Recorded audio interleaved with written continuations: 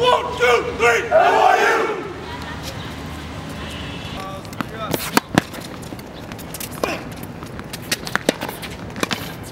Yeah, let's go! Defense!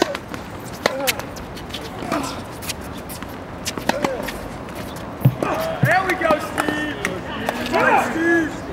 Luckily, things went my way yesterday. I played, you know, as well as I could, um, and I just had, you know, was fortunate to play, you know, my best tennis when it when it mattered.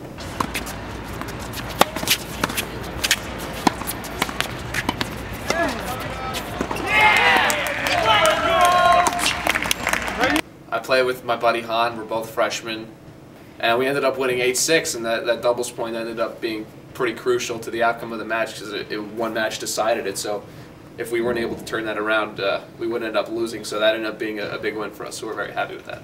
We just want to keep winning. I mean, just keep our streak alive and, you know, see see where it takes us.